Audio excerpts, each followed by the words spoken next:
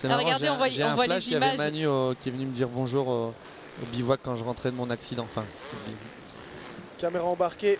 Voilà, regardez, on voit les camé- la caméra embarquée, euh, la petite caméra posée sur, euh, sur la moto de Valentin Guillot. On vous parlait de lui tout à l'heure. Valentin qui était appelé à la rescousse pour pallier l'absence de Stéphane Wattel blessé au genou. Le Suisse, le pilote suisse, donc euh, chez Honda, euh, complètement inexpérimenté en, en sable. hein. Il a fallu faire un- une adaptation express pour, euh, pour cette course, alors qu'on le voit ici euh, au départ, toujours impressionnant, Adrien. Aussi, on, cette ligne droite, euh, voilà, le cœur palpite. je suis en train de regarder quelle moto va le plus vite là, c'est ce qui m'intrigue. Camille Chapelière qui est juste devant là à gauche.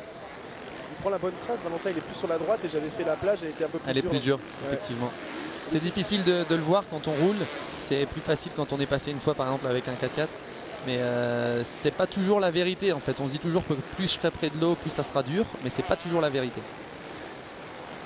Romain ça- Dumontier avec la Husqvarna qui le passe sur la droite. Alors que à sa gauche, il y avait le numéro 91. Vous voyez, il a, il a lâché la main. Regardez, il a lâché la main. Il est en train de.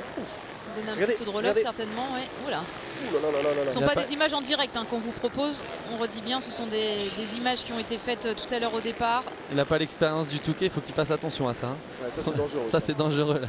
On peut le faire, mais pas aussi longtemps. très très belles images. De Voilà, les images de la ligne d'arrivée. qui a été mis sur son casque et qui Voilà, l'a. le all shot de la ligne d'arrivée jusqu'à Stella Plage.